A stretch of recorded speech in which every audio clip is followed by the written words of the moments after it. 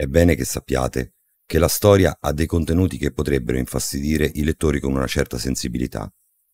Se siete di stomaco debole, allora non vi consiglio di proseguire, e se le tematiche forti non fanno per voi, allora chiudete tutto e non lasciate che la dottoressa Eva Grimbel vi faccia di sua proprietà.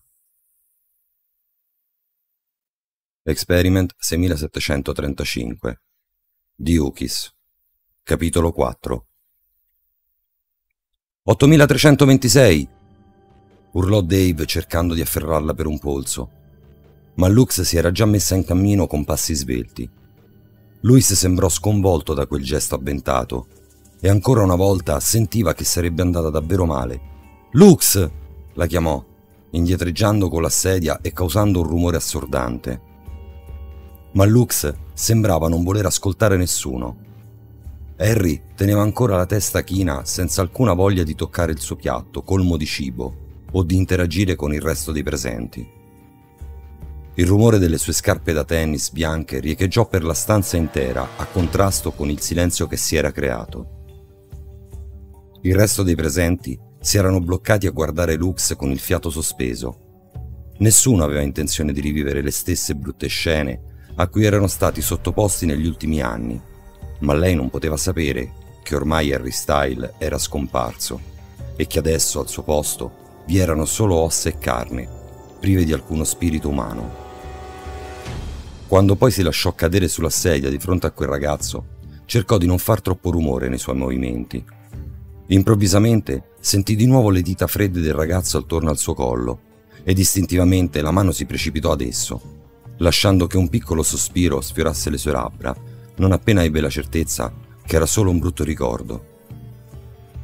L'esperimento 6735, dal canto suo, non ci mise molto a fissare la persona che lo aveva spudoratamente disturbato senza alcun permesso o invito a farlo. Gli occhi, privi di espressione, si piantarono su quelli della nuova arrivata e in qualche modo sperava di farle capire di doversene andare il prima possibile e che la sua presenza non era affatto gradita. Dopo tutto questo tempo passato in quel luogo e i ragazzi che aveva tentato di uccidere, pensava che finalmente avessero smesso tutti di preoccuparsi anche solo della sua presenza. Ma Lux ignorava tutti i precedenti. Ci vollero minuti prima che la ragazza decidesse di prendere parola. Per secondi infinitamente lunghi era rimasta a fissarlo negli occhi e a cercare di rammentare i giorni in cui entrambi frequentavano la stessa scuola e dove lui sembrava tutt'altro che un mostro. E ricordò quella volta in cui lei e Freya si stavano recando presso la palestra, quando accanto a loro passò proprio Style insieme al suo gruppetto di amici e le rivolse un sorriso. Freya aveva speso il resto della giornata a canzonarla, chiedendole come mai conoscesse il ragazzo più ambito della scuola e soprattutto perché lui sapeva della sua esistenza. Lux non riuscì mai più a dimenticarsi quel sorriso, non perché avesse provato interesse nei suoi confronti, e mai lo avrebbe fatto, ma lo ricordava per il modo in cui le aveva sorriso.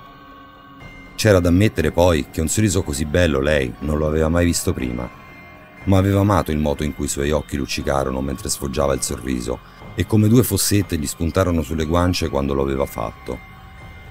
Il ragazzo che le stava davanti adesso, però, non sapeva nemmeno cosa significasse sorridere. E alla fine prese la parola. Sei l'esperimento 6735, giusto? chiese poggiando i gomiti sul tavolo dalla superficie bianca. Harry non si mosse di un millimetro e non rispose nemmeno alla domanda. Stava semplicemente osservando i suoi movimenti e il suo modo così tranquillo di parlare. Non ricordava nemmeno più l'ultima volta in cui qualcuno si era rivolto a lui in quel modo. Non ti ricordi di me? chiese ancora senza ricevere risposta e sospirò facendosi un po' avanti. Senti Harry, non so come e perché siamo finiti qui. Tu non dovresti esserci. I tuoi genitori credono che tu sia morto. Lo crede Liz e lo credevo anch'io. Parlò a bassa voce guardandosi intorno con la coda dell'occhio non poteva permettere di farsi sentire dagli altri, ancora intenti a fissarle ad origliare. Alcune ciocche di capelli le solleticarono una guancia e con una mossa veloce li portò indietro facendo sussultare Harry, che la guardò con espressione truce.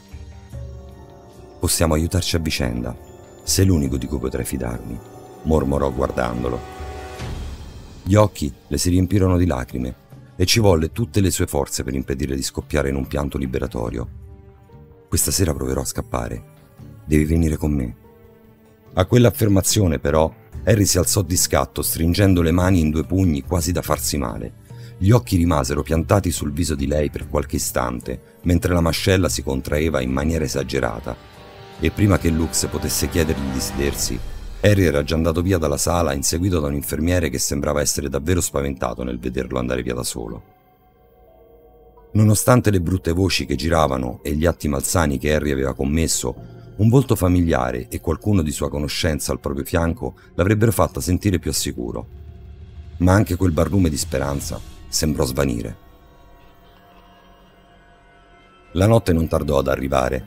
Le urla e i pianti continuavano a cullare le ore notturne era difficile stabilire l'ora esatta, ma sembravano passate eternità da quando Lux si era piazzata contro i piedi del letto ad aspettare di non sentire più le voci stizzite degli infermieri che intimavano di andare nelle proprie camere.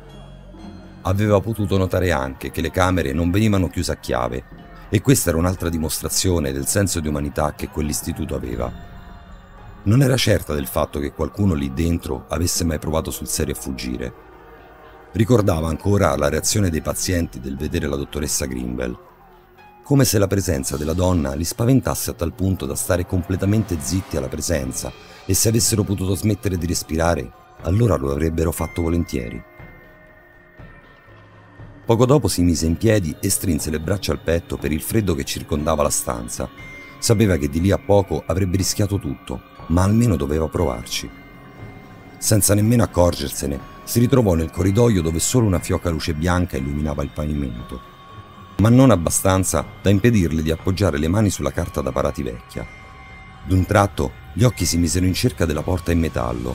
Ora essa sembrava così lontana e difficile da raggiungere, così lontana da riuscire a vederla appena. Il cuore batteva velocemente contro il petto e il fiato si fece sempre più corto. Il suo corpo tendeva a muoversi di tutta fretta mentre le mani tremavano. Lo sguardo guizzava da destra a sinistra, poiché la paura di essere scoperta la stava letteralmente sbranando. E poi si mise a correre, finalmente certa che nessuno l'avrebbe vista e che una possibilità di fuga c'era. Quando arrivò alla fine dell'intero corridoio, sorpassò anche la mensa, ritrovandosi davanti a quella che sembrava una hall. Le luci erano spente ma non era difficile distinguere la scrivania a semicerchio al centro della stanza e i vari quadri appesi alle pareti verde chiaro. Alcune sedie attaccate alla parete rendevano la stanza un po' più accogliente, ma priva di colori sgargianti come il resto delle stanze che aveva potuto vedere. Fece qualche passo avanti e a quel punto un allarme assordante invase l'intera stanza. Lux sentì la testa scoppiarle e il cuore batterle ad una velocità tale da paralizzarla. Per un'infinità di tempo indecifrabile la ragazza rimase immobile con gli occhi che scorrevano da una parete all'altra, cercando di spingere se stessa verso la porta in vetro che portava a quella che doveva essere l'uscita. E così corse verso di essa, nonostante le sue gambe volessero cedere. Cercò di aprire la porta invano. Ogni spinta era inutile e il rumore cominciava ad estendersi anche per il resto dell'istituto. E di nuovo altre spinte, ma la spalla che si scontrava contro la porta non aveva alcun effetto non ci volle molto tempo affinché due braccia possenti la circondassero strattonandola via di lì.